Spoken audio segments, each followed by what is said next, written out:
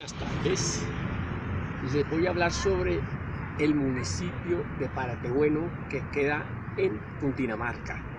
Nosotros, eh, a desplazarnos de Bogotá a Paratebueno, nos gastamos cuatro horas, una distancia de 271 kilómetros.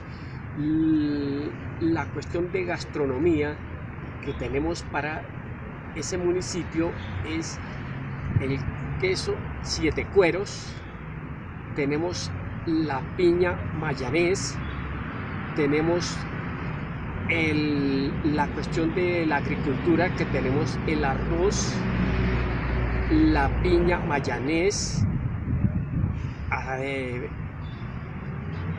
la, el camarón de río, la mojarra, tenemos la cuestión de la cuestión de gastronomía como es el museo de camarón, el museo de mojarra, con shows de piña mayanés.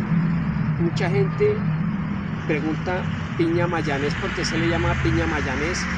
Mayanés tiene el nombre de Maya en honor a la inspección Maya Inés al que cultivó la semilla de esa piña en ese sitio de Cundinamarca.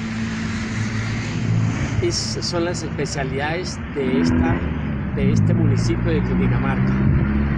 Mucha gente cree que porque toca atravesar Villavicencio y Cumaral para llegar a Bueno, creen que, que esto queda en el llano, pero no, eso es un municipio de Cundinamarca y que tenemos una temperatura de 27 grados.